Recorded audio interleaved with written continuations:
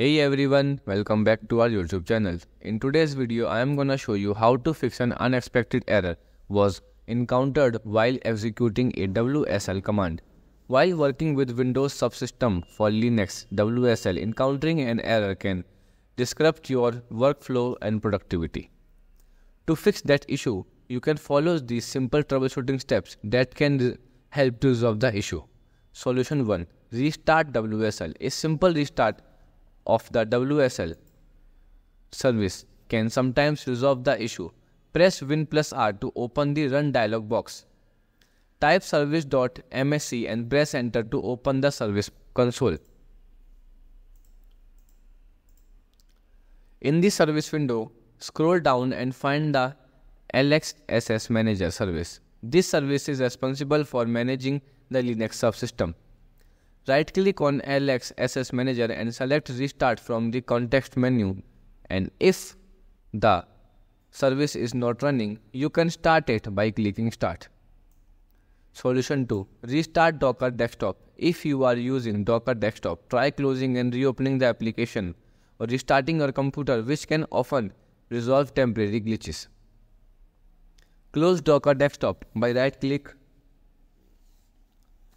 clicking the Docker icon in the system tray and selecting Quit Docker Desktop. Reopen Docker Desktop from the Start menu.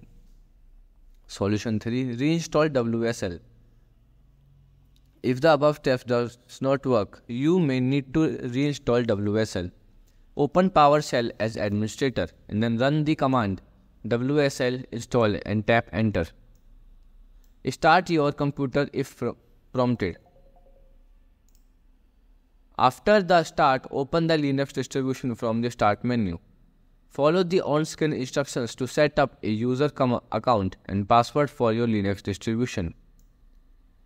Solution 4. Delete and recreate Docker config files. Navigate to the Docker config directory typically located at C users and username and slash docker or within your Linux distribution home directory. Delete the config files or move them to a backup location. Restart Docker to generate new config file. Solution 5 Check for known issue. Visit the Docker for Windows GitHub issues page or Docker community forum. Search for the error messaging to see if others have encountered and resolved the same issue. Apply any suggestion fixes that are relevant to your situation.